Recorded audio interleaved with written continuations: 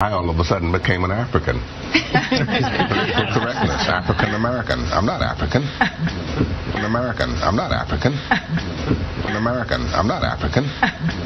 DNA does not change just like that. 500 years of intermixing with another nationality, and all of a sudden, all of your physical attributes just change to something that does not look like the original land where you're from.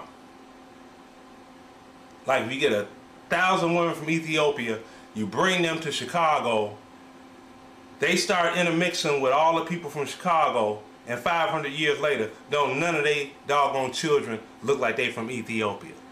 DNA don't work like that, people. I'm sorry if I'm but. Why the fuck only people with color got some African American and black? Even when you even say that word, you feel like a slave.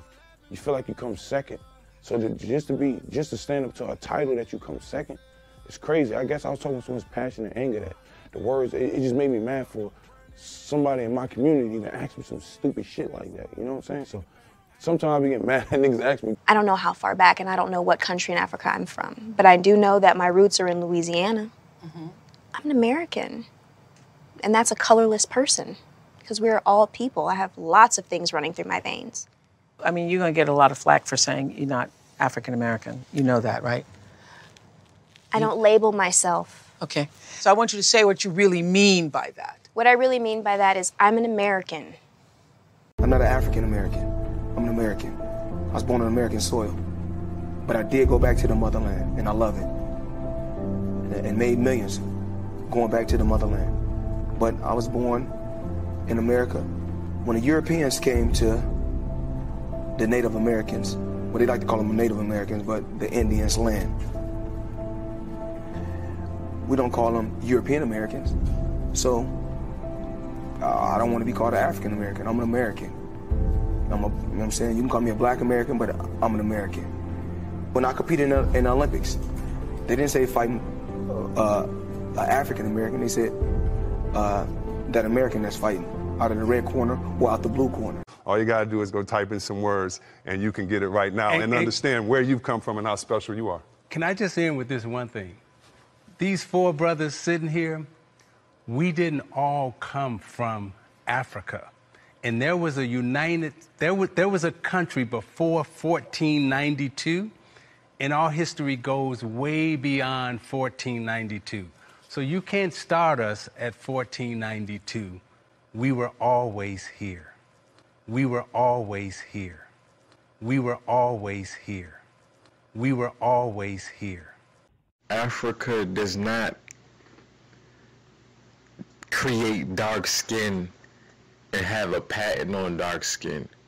It's the the position of the equator. The sun gives you melanin, gives you dark skin. And you know the people in North America live in a more forest environment. You know the weather is balanced. It goes through pole shifts and you know seasonal changes. So you know it's a period in North America when we are just basically in the sun, and it's a period when we out the sun, and that that plays a part in skin color and hair texture and everything. Because if you look at the people in Africa, they live in a more tropical environment, a more desertish environment. They're in the heat all year, so you know that America, if you look at this map, and you look at this map of North America, just for start, you see the southern part of the, U. that's the darkest. Look at the southern part of the United States. You see it's red, and you see most of it is yellow. And then you go further up to Canada, it's blue. If you see the darkest part is really in California, like on the southwest. And then as you go down, you get more into a red zone you look at South America, Central America, you know. And then you go across Africa, the same thing. So a lot of people can't, you know, they can't understand that. So I ask anybody to use their common sense. You're going to tell me that the indigenous people of this country had light skin, straight hair, pale skin, in, in these hot, humid like hot, like Florida. That's where you might see the darkest people in this country are gonna be in Florida, California, because they're in sun, the sun, they're in the heat all year long. And you know, you can't tell me the indigenous people of this country, especially in the southeast, in the southwest, the Caribbean, Mexico, have pale skin, stringy hair, because those climates do not produce that. If anybody been to Florida, you know everybody in Florida is dark. So you're in that humidity that plays a part 500 nations. It shows the indigenous people of Hispaniola. And you can see that so common sense has not, you know, a lot of people have been dumbed down. And if you go to Africa, the lightest Africans that you will see live in a more forest kind of environment. You go to South Africa, the people are more they are lighter. They have, you know, like the hair is kinky. They are lighter skinned. Um, the eyes are more slanted because that is the environment. They live in a more forest. It's similar to North America, South Africa. I'm talking about. Then you go to West Africa. It's more of a tropical environment. So I would say West Africa is more similar to like somewhere in Florida. Um, you know, further North America, you'll see darker skinned Indians with straighter hair. You look at the old pictures of the uh, Algonquin, the Narragansett people. You can see the thickness, but the straightness.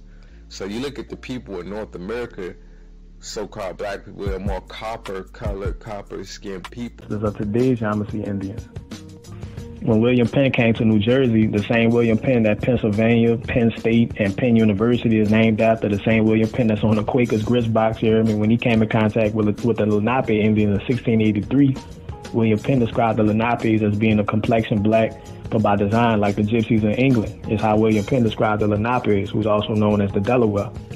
You know, I mean, that's in the Northeast region around New Jersey, Delaware, and Lenape still exist there today in that same region in New Jersey and Delaware. Plains natives or Mongoloids did not live in the southeast, the northeast, or California in the Pacific historically. The only area that the plains or Mongoloid looking natives lived was the northwest and the southwest, and they only got to the southwest in, in Arizona and New Mexico and Colorado because they moved down, they migrated from the northwest in Montana, Dakota, in Idaho and Washington, that's the only area that the Mongoloids or Plains people historically live. They are migrational people. So-called Black Americans are autochthonous. We originated from the soil of the earth. The soil of North America is where misnamed, reclassified Black Americans originated from. So historically, the only people that lived in the Southeast and the, the Northeast and the West Coast were so-called black people, indigenous people that look like so-called black people, according to the Europeans' earliest historical documented accounts. There were no plains or mongoloids on the East Coast, the Southeast, or the West Coast ever. They only lived in the Northwest, the mongoloids. The mongoloids only lived in the Northwest. Mongoloids never lived in the Southeast, in Louisiana, Mississippi, Alabama, Georgia, Florida, the Carolinas, Virginia, Carolina, Massachusetts, Rhode Island, you heard me, California, Texas. Mongoloids never lived in none of those places. That was only indigenous, misnamed black people. Mongoloids only lived in the Northwest. In Virginia, well over a decade before the first imported Negroes were shipped into Jamestown, Virginia from the Caribbean in 1619, John Smith in 1607 had encountered the Powhatan Nation and described them as being so-called misnomer black people. The same John Smith that we seen in the Pocahontas movie. John Smith had described Pocahontas' people as being indigenous black people, according to his own historical voyage accounts. John Smith, when he was at war with the Powhatan Indians, he described the Powhatan Algonquin chief as being more like a devil than a man, with some 200 more as black as himself.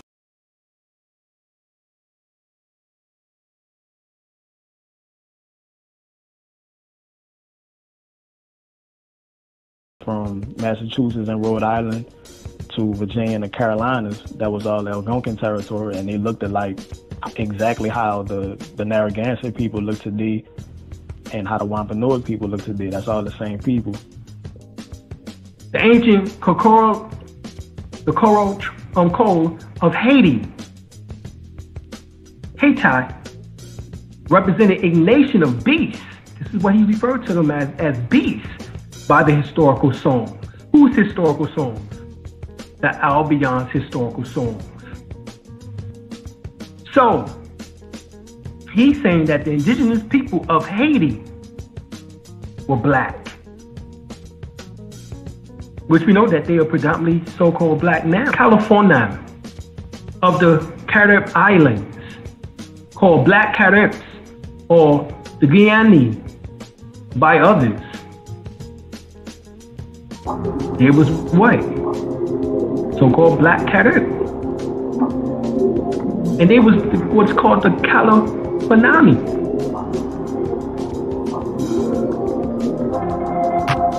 Or the Califanams.